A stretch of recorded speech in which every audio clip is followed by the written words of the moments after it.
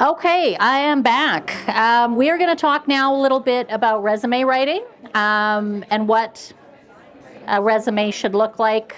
You've had some good information here about interviewing and what you should wear and the actual job search, but you have to have your resume um, ready to go and be confident with that you're selling yourself properly. Usually at this point in the resume, I would make you stand up and do a Superman or Superwoman pose um, to get your confidence going. So we have to be confident when we're selling ourselves. And how do we do that? And again, it's talking to your family and friends and talking to people on what you're good at to create that to put onto your resume.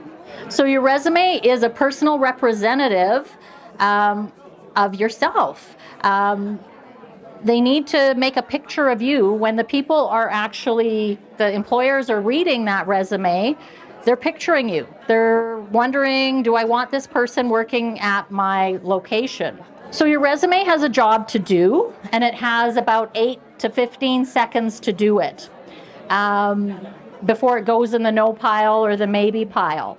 So being younger, um, you want to probably have just a one pager um, because you need to catch their attention on that first grab. So you need to, to make a positive first impression, um, attract the employer's attention, uh, make an impact on your behalf, and intrigue the employer enough to give you that interview. Something has to catch their eye that they're going to give you that call and then you need to survive elimination. You need to get past that point of just the review that you get the phone call. So there are four types or main types of resumes.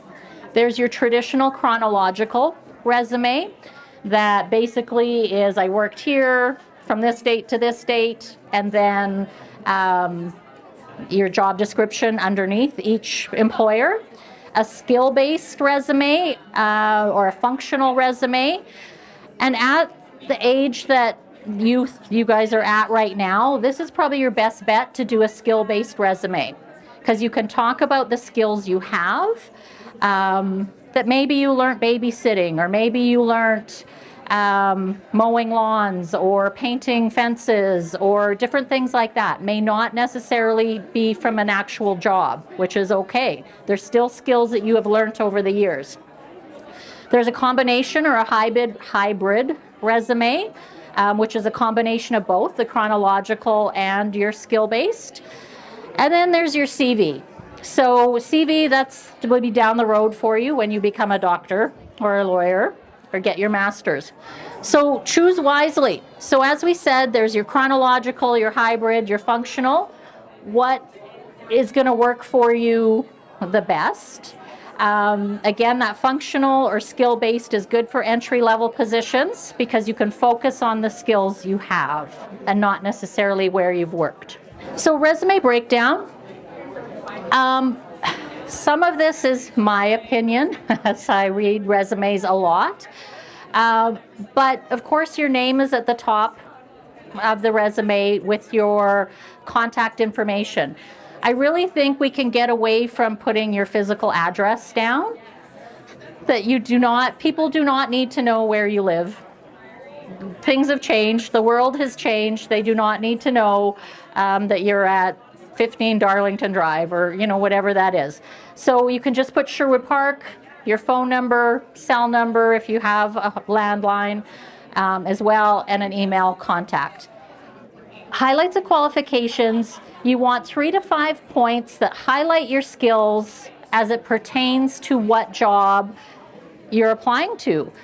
So it could be training, education, per, like some different certificates that you have, maybe the years of experience. Um, maybe you speak two languages, maybe you have good computer skills, whatever that looks like. You want to pick some of those highlights and, and pop them in at the top of your resume. When you are um, applying to a job, you should change your resume every single time, okay, for each job that you're applying to. This is a job description for Judy's office supply, which is a traditional, pretty basic job description. In the green, as you can see here, these are the things that you need to put onto your resume for this job, okay? You want to, if you have that experience, you want to use those same words, okay? You want to talk about that you have you're friendly and you have good customer service. You have an eye for detail. Um, that you enjoy working in a friendly and respectful environment. You want to have all those kind of words. Because I wrote this advertisement, not really, but if this was for my workplace, I wrote this advertisement. So if you put these same words into um, your job, into your resume, they're going to pop into my head because I'm going to say, those are my words. I like this person. I'm going to give them a call. So it's really good to pull those different qualifications and add them to your resume each time, okay? And make a just few little changes. When you are doing your resume, again, the breakdown, you want to add your education and certificates. So maybe you're in grade 11 or you finished school, where, the year, maybe if you um, focused on anything at school, you want to list that information. So this is a chronological or a breakdown for chronological, and I was going to change it, but it just gave me an opportunity to talk about it. Here we have listed company name, location, job title. My personal opinion is you should have your job title first, highlighted, and then where you worked, it's not as important, right? Where you actually did the job isn't as important. You can do it anywhere. If you worked at Staples, you can probably go work at any store, right? It doesn't matter where you worked, you take the skills you got from that job. Um, and again, you want to list a few things under each job. So, transferable skills. This is where you guys are going to make or break your resume. Transferable skills are the things that, or the skills that you're going to develop through school volunteering, maybe work experience. Um, and it's stuff that you can transfer from job to job. So, like I said, you may have learned how to water plants. Maybe your mother gardens and you water plants. Can you not go to Greenland Garden Center and water plants there? It's a skill you have. So you can spice it up a little bit on your resume by saying you have landscaping or, or um, gardening, you know, type experience. Um, but it's not, it's something, nothing that someone can take away from you because you know how to do it. So those are your transferable skills. Um, there's hard skills and soft skills. So hard skills are stuff like first aid, uh, maybe a computer course, um, money handling. Those are things you actually had to learn how to do. Your soft skills are more like your personality. So it is your communication skills, maybe you're creative, um, that you have leadership skills. Those are your soft skills that you want to add. The more transferable skills you have, the more invaluable you are to an employer because you can work in a lot of different areas. So again, a little bit more on transferable skills. So your hard skills, like we said, it's stuff you have learned through school um, or different jobs that someone taught you. And again, soft skills could be empathy, flexibility, that type of thing. So both are super important. Um, you want to have a good balance of both on your resume. So here, and we probably cannot see, well, maybe we can, it's not too bad. But here's some examples of some transferable skills. So speaking effectively, multitasking, cooperating, just trying to, attending, you know, attention to detail, organized, coaching. Maybe you've coached a ball team or a hockey team. Um, those are skills you can use, those leadership skills. So just looking at this example, so this lady, she's never had a job before. Um, she just graduated from a business admin program um, with university. Um, she has spent three summers babysitting her three nieces and nephews. These are my favorite resumes to do. To be able to pull those that information. This lady has all kinds of multitasking skills. from babysitting three kids for a lot of years. She has good planning skills. She has the ability to create, like be creative with planning, playtime. Um, so there's a lot of different skills that you, she learned from babysitting and that responsibility that she can put onto her resume, but as well can use whatever she learned at school um, in that business administration program. Um, another one, Kelly, or this lady, she's been a stay-at-home mom for four years, and she worked in customer service. Just because her experience was four years ago does not mean she shouldn't put it on her resume. We don't forget. We don't forget how to do these jobs. Um, it's still experience you have to, to go to a new job. So power statements. So sometimes, and it's hard when we are doing resumes, um, to think of creative ways to talk about our experience. But looking at these examples, so helped customers place orders. Maybe you worked at a restaurant. Did you help customers place orders or did you provide, provide excellent customer service to a variety of clients, assisting customers with placing product orders accurately, right? You can really stretch, you know, and pump up and make power statements out of that.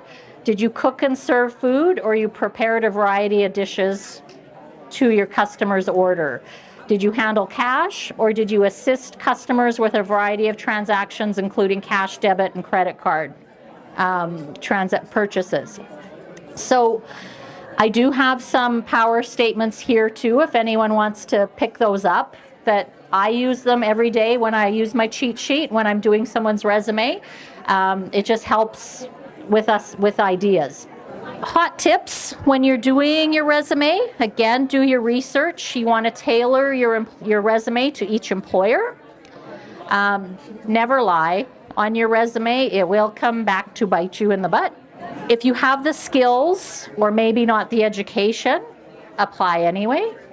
You never know. You might be the only person that applied to that job. So you may at least get the interview for that practice. Apply. Proofread proofread, proofread, proofread your resume, have someone else look it over. Um, one spelling error, I used to work alongside a lady who she had this big red pen, and if there was spelling or errors, she was circling them, um, and your resume ended up in the garbage. Um, so make sure you have someone double checking. So when you're formatting your resume, um, use a neutral font, nothing too wild and crazy for your fonts. Arial, Times New Roman are good. Um, nothing too small because you might get someone old like me and I can't see. So you want to have it, you know, a 12, 11, 12, something like that. Um, try and keep it no longer than two pages. Um, you want to have something to talk about in the interview, a little bit in your cover letter, um, but resumes, right now especially, there's so much, um, you know, so many people applying to the same jobs or, you know, the, the employers aren't reading. They don't get past your second page you, or for your first page sometimes. So try and keep it, you know, quick. Um, have a nice balance of white and black space, right? Not have it all jammed in close. Um, use bulleted lists that allow for easy reading. Align your headings. Um, put your name and phone number on all the pages. Um, so if you have a second page, put your name up top because if it gets separated on my messy desk, then I can staple it, or it's not stapled, I can find it. Um, use standard letter paper. They talk a lot. Sometimes people like to put different colors um, on their resume. We print in black and white when I'm printing it, it might, you know, when it pops up, I might see it in color, but I'm printing it in black and white, so putting colors isn't really necessary. Um, you never, not on this, maybe it's on the next page, but don't put your picture on your resume. Um, if a resume shows up with a picture, I have to call you and say, take your picture off and, and send it again because I can't, again, Alberta labor laws, I can't judge you on your picture because you could come back and say you didn't hire me because I'm blonde, that I'm, you know, whatever. So take your picture off. We can't judge you on that. Unless you're a model, then maybe that's important. Um, make sure your copies of your resumes are clean, um, and not folded in three, you know, little squares. Again, try not to have any grammar or spelling. Um, I think I heard one of the ladies talk about it earlier, but sending the wrong resume. Um, or sending, a lot of times we'll put on our resumes, you know, um, attention ATB. And then you're sending it to TD because you're applying to all the banks, right? Um, your resume just went in the garbage because you have no attention to detail and you you you're just hitting send send send right it so make sure you're tailoring it to the right employer.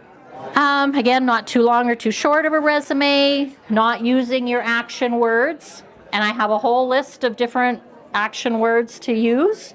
Um, an inconsistent layout. I had a lady once send me her resume, and I think she had five different fonts and different colors and different um, like sizing. And I think she was trying to show me that she knew how to change it. but it looked terrible. So do not try and use it, use one and that's it. And having incorrect contact information. Make sure your phone number is correct. Make sure your email is correct. Um, so when we are reaching out, um, that we can get a hold of you. So I think that's kind of the the end of it. This one's short. Usually we would actually sit down and do your resume at this point. Um, if you do have a resume and you want me to take a look at it, I'm just over here. I'm more than welcome. And we do have some handouts, some samples of, of resumes of the skill-based resume that you could take a look at as well in the power statements. So, any questions? Anyone? No? Well, thank you guys again for listening.